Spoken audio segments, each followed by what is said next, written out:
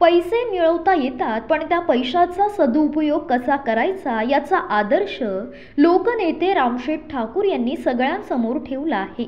असे गौरवोद्गार रयत शिक्षण संस्थेचे अध्यक्ष आणि खासदार शरद पवार यांनी संस्थेच्या हनुमान विद्यालयाच्या नूतनीकृत इमारतीच्या उद्घाटनावेळी केले. या इमारतीसाठी पंचाहत्तर लाख रुपयांची देणगी दिल्याबद्दल लोकनेते रामशेठ ठाकूर यांचा जाहीर सत्कार या कार्यक्रमात करण्यात आला यावेळी लोकनेते रामशेठ ठाकूर यांनी विद्यालयाच्या विकासासाठी आणखी पंचवीस लाख रुपयांची आर्थिक मदत जाहीर केली. सातारा जिल्ह्यातील आणि खटाव तालुक्यातील निढळ येथे रयत शिक्षण संस्थेच्या हनुमान विद्यालयाची नूतनीकृत इमारत रायगडचे माजी खासदार आणि रयत शिक्षण संस्थेचे मॅनेजिंग काउन्सिलचे सदस्य लोकनेते रामशेठ ठाकूर यांच्या पंचाहत्तर लाख रुपयांच्या देणगीतून उभारण्यात आली आहे. या नूतनीकृत इमारतीचे उद्घाटन रयतचे अध्यक्ष खासदार शरद पवार यांच्या हस्ते तसेच वर्गखोल्या कार्यालय ऑफिसचे उद्घाटन लोकनेते रामशेठ ठाकूर यांच्यासह उपस्थित मान्यवरांच्या हस्ते झाले. निढळगावचे सुपुत्र आणि रयत शिक्षण संस्थेचे चेअरमन चंद्रकांत दळवे यांच्या पुढाकारातून आणि रयत मॅनेजिंग काउन्सिलचे सदस्य खासदार रामशेठ ठाकूर यांनी दिलेल्या पंचाहत्तर लाख रुपये देणगीतून इमारतीचे नूतनीकरण करण्यात आलं आहे. राज्याला दिशादर्शक ठरणारी शाळेची अद्ययावत आणि सर्व सुविधांनी युक्त इमारत निढळ येथे उभारण्यात आली आहे. संगणक कक्ष ग्रंथालय डिजिटल वर्ग सुसज्ज स्टाफ रूम बोलक्या भिंती मुख्याध्यापक कक्ष रंगरंगोटी नवीन बेंचेस अत्याधुनिक डिजिटल बोर्ड अशा अनेक सुविधा विद्यार्थी आणि शिक्षकांना देण्यात आल्याची माहिती रयत शिक्षण संस्थेचे चेअरमन चंद्रकांत दळवी यांनी यावेळी दिली. या कार्यक्रमात रयत शिक्षण संस्थेचे मॅनेजिंग काउन्सिल सदस्य लोकनेते रामशेठ ठाकूर हनुमान विद्यालयाचे मुख्याध्यापक जगदीश निर्मळ माजी विद्यार्थी विजय जाधव कला शिक्षक प्रदीप बाळकृष्ण कुंभार यांचा विशेष सत्कार करण्यात आला. तसेच निलेश पवार योगीराज खुसपे आरती पिंगळे अमृत जाधव आरती निर्मळ यांचा स्पर्धा परीक्षांमध्ये यशस्वी झाल्याबद्दल तर अविज्ञा घाडगे वृषाली पाटोळे शिवानी मदने वैष्णव खुसपे आणि श्रुती जाधव या विशेष प्रावीण्यप्राप्त विद्यार्थ्यांचा सत्कार या कार्यक्रमामध्ये करण्यात आला.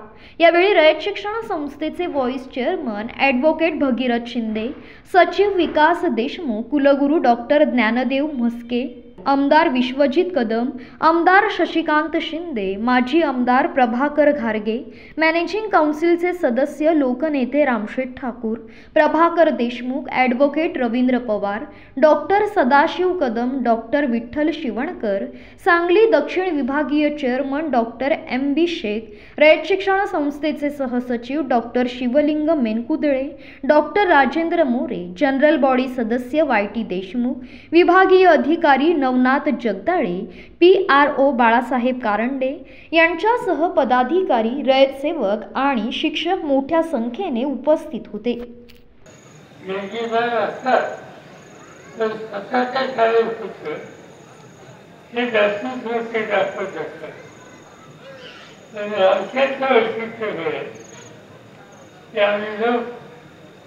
आदिवासी भागात संस्थेची शाखा त्या ठिकाणी सर्व काम बघितलं.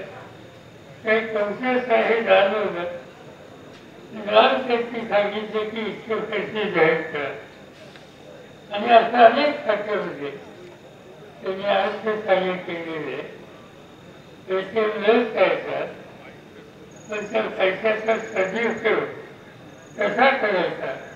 याचा अभ्यास आज व्यवसायाची सगळ्याच्या समय दिलेला आहे. आणि मी याही संस्थेचे मी आज ते करायचा निर्णय घेतला. त्याबद्दल त्यांचं मी अंतकरणापासून त्यांनी धन्यवाद देतो. त्यांचा आभार हो. एका ठिकाणी मला सांगितलं हे आता हे आता एक नूतन विद्यालय झालंय किती छान सुंदर झालंय आम्ही पाहिलंच आहे म्हणजे पण पाहिलं. पण प्रत्येक गोष्टीकडे नीटनेटकेपणा आहे.